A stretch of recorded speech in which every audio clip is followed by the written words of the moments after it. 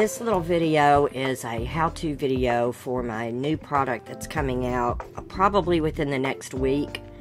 It's uh, holiday-themed putz houses, and there are three houses in the set. You can see on screen here um, a picture of all three of them. We have a pumpkin house, a bat house, and some of you may be familiar with my peppermint house. I've added a few little extra details, and I'll get into that in a few minutes, but there's your example. So, this is for newbies on how to get the SVG files into Cricut Design Space and prep them for use. So when you download or when you purchase the files, you download the zip, there'll be in a zip file. Download them to your computer and unzip them. And then inside all of them, you will find a uh, folder that has SVG at the end. These are your working files, excuse me. and um, then there will be, will be a photo of all three houses. There's instructions, and inside the instructions, you have a, uh, a diagram of all the pieces and what they are so that you can ident- identify them. There's a PDF here with instructions. It has a lot of other information that isn't in the video. So you'll want to look at that right away. You can print that, that PDF off if you want to. And then there'll be additional photos for finishing so you can see the different options that are available in the file. So the first thing you want to do is open Cricut Design Space. And then once you do that, let me move that out of the way. Click on New Project. You'll get a blank screen and then go to on the far left side upload. Click that. And then you'll want to click upload image. And you can either drag the file in here or you can browse your computer for it. I'm going to just drag it in there. And that part is off the screen. But here's the first file that I want to use. So I'm going to just drag it over there. Then I'm going to click continue at the bottom Then I'm going to click upload because we don't need to do anything here. And here is the file. Now, Cricut Design Space has had some different upgrades, and um, each time they do that, it kind of messes with the file size. Sorry, I had to get a drink of water there. I'm kind of struggling with my voice today. And um, for some reason, sometimes files come in at the right size, sometimes they don't.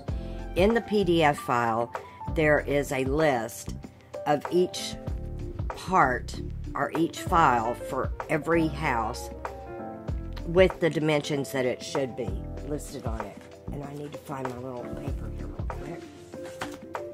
So what you're going to have to do is, sorry about that, thought I was prepared here and I wasn't okay, is resize this when it comes up. And what I've done is instead of having you upload every single little piece one by one, I've grouped several items and so you can just upload it at once. You can ungroup it and you will be able to work with each little piece individually once you get it into design space. So as you can see right now, if you pull on this, it's grouped. And we're going to leave it grouped for this part. You don't want to ungroup it right away. So we're going to go up here to where it says size, and there's a little lock. You want to click on that little lock. That unlocks it. And then in your width, if you'll look in, if when you look in your PDF file to get the sizes, the little house and base set should be 10, 10.78. So 10.78 for the width and the height is 8.95. Once I get that set, click that lock closed. So now this is in the right size.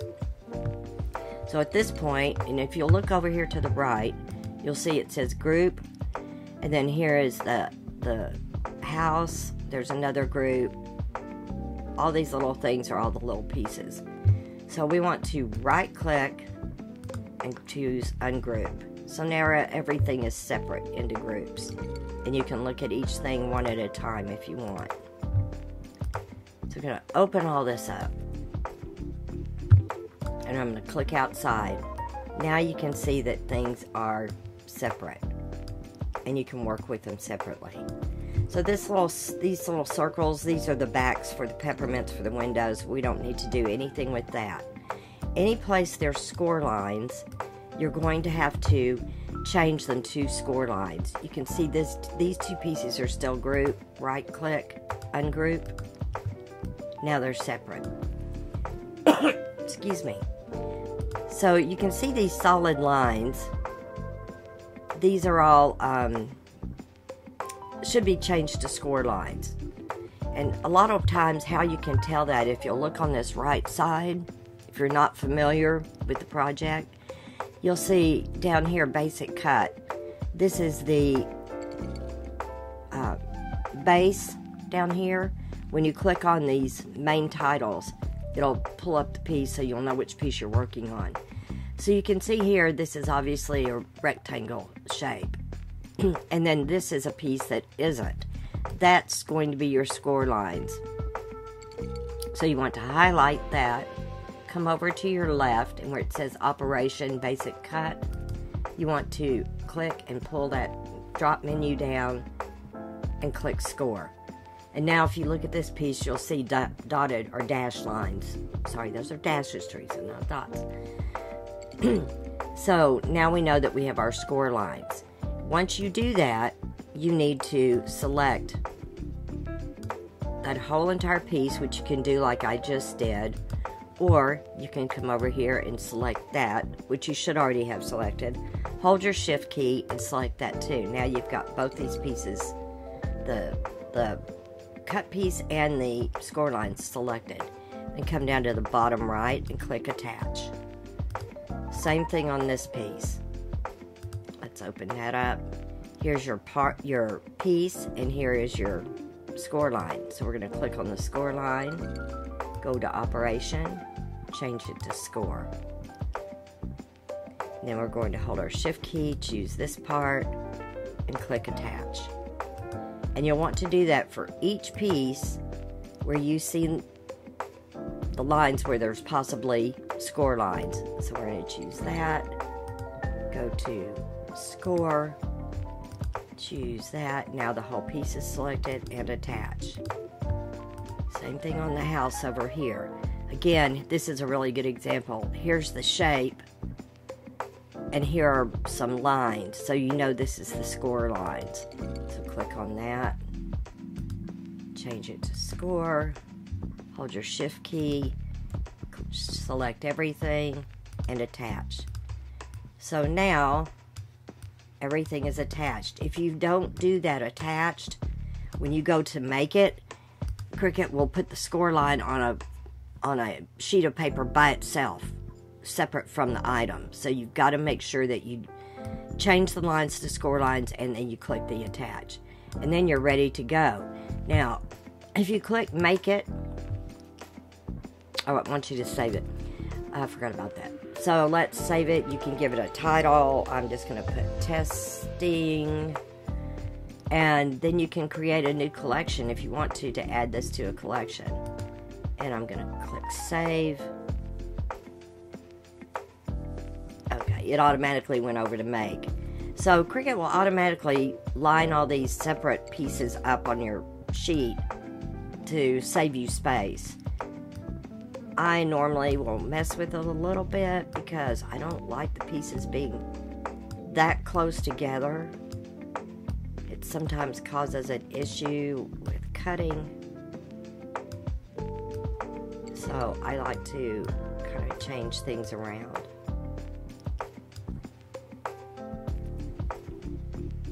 And sorry if you can hear the mowing. Maybe we have a neighbor mowing. And then it's ready to cut so I'm going to click cancel. Now, if you want to add items together and set them up to cut to your own preferences, you can move your pieces around. Whoops.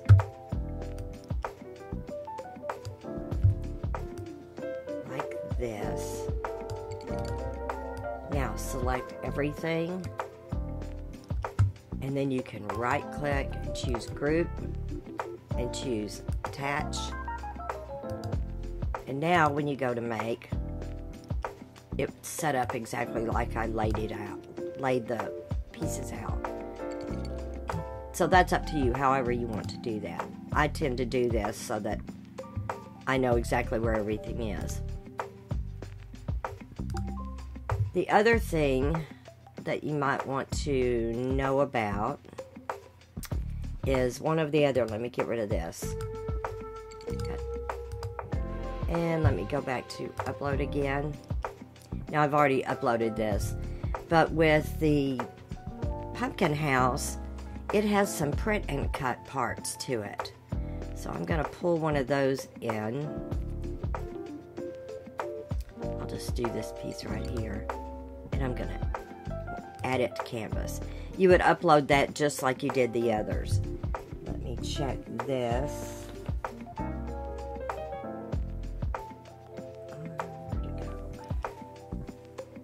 So this one needs to be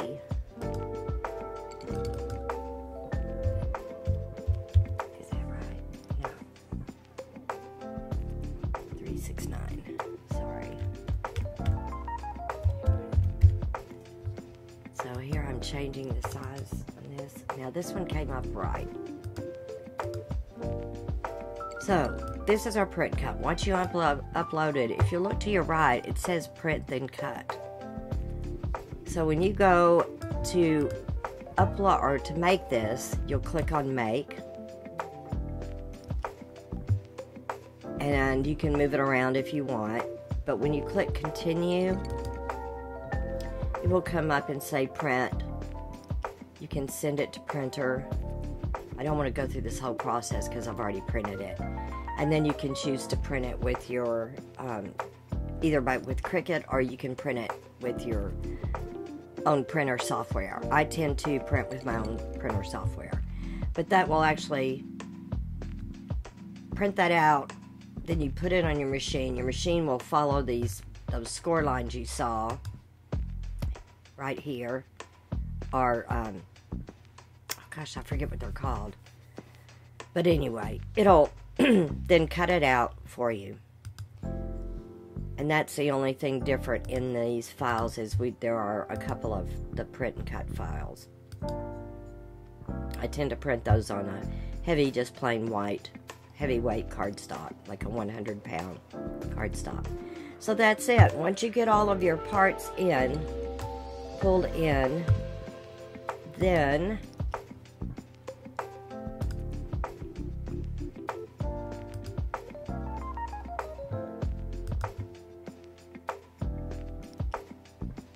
your file should look like this and I will scroll out so you can see. So here's the pumpkin house and you can see here are some print and cut file here and a print and cut file here. And all of the other pieces. And like this for instance I've left grouped because it's shingles. And that's all there is to it. Just save it so you know where it is to your my stuff and you're ready to go so that's it. If you have any questions, again, please feel free to get in touch with me. And now we're going to head into the how-to vi videos where you can see me building all three um, houses. And that will be a kind of a sped up little thing. They're all built and basically the main structure is built in the same way. So you really I didn't really do much voiceover in um, the build part. So we'll head to that part now. Thanks for watching.